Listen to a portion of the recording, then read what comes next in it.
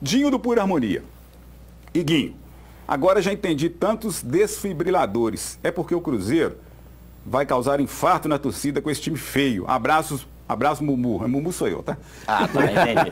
É, não, essa parte do Cruzeiro deixa pro Adroaldo falar. Eu tenho até minha opinião. Acho que contratou muito jogador emergente do futebol argentino. Contratou na baseada de sete, se salvarem dois ali, vai ser muito mais Deixa pro Adroaldo, esse é um problema dele, velho. Aí, Adroaldo, direito de resposta para Problema você. nada. Não, são jogadores que têm grande potencial aí para poder estar tá apresentando o futebol.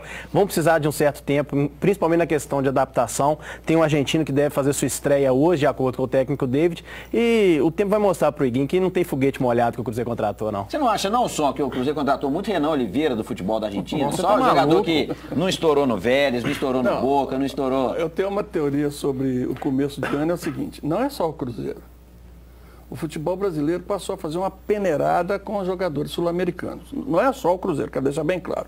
Alguns vêm, dão certo, outros não. Se desses aí dois acertarem, já está bom demais. Agora, se passar disso, excelente. Agora, o, o, o que eu estou vendo no Cruzeiro é que é, não adianta ter um sistema ofensivo se o jogador não tiver disposição de marcação necessária e, e, fazer cobertura. Porque estão culpando muito o David. Poxa, mas ele escala os camaradas que pediram para ele ficar. E aí os caras entram em campo e tomam quatro gols. Estão falando que o jogo foi maravilhoso. Para mim não foi. Para mim também não.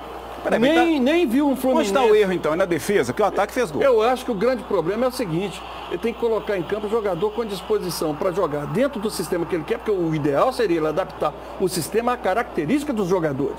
Como às vezes o treinador quer que todo mundo jogue no sistema dele, ele tem que chegar para o pessoal e falar: no meu sistema é assim todo mundo ataca, mas quando perder a bola, todo tem que começar a baixar a lenha lá na frente.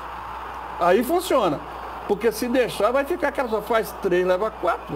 tem que ver se as características ah. desses jogadores permitem pois isso. É, né? é o que eu estou te dizendo. Agora, Adroaldo, tem, novi tem novidade na defesa aí, né? Tem Manuel tá sim. Tá machucado, vai entrar. Manuel está machucado, a dupla de defesa hoje vai ser o Dedé e o Bruno Rodrigo. O Bruno Rodrigo volta, o Dedé teve um edema, o Manuel, perdão, teve um edema na coxa esquerda, está fora desse jogo, mas não é contusão séria não. Na próxima semana ele já deve estar tá de volta.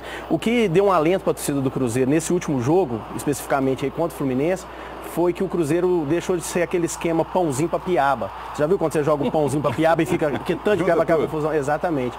Dessa vez os jogadores guardaram mais posição. Por exemplo, Fabrício, que é lateral, determinados jogos do Campeonato Mineiro, ele estava jogando meio, hora de atacante, então o David vai ter que dar, vai ter que dar mais é, esse sistema de jogo para o time. E os jogadores vão ter que entender isso, tem que recompor, porque senão sempre vai estourar lá na defesa.